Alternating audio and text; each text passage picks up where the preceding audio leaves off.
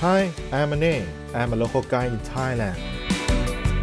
At first, I never thought of being a guy. I like to go on a street view. So I decided to become a local guide, going around places, taking a picture wherever I go down, upload them on the Google Map to share what I have the experience. During my journey, I never go alone. There's one person beside me, named Google Map. He likes my best friend.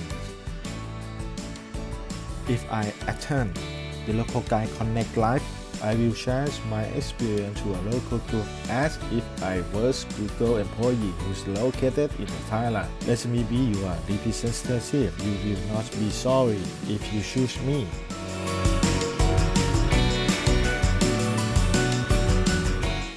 See you San Francisco.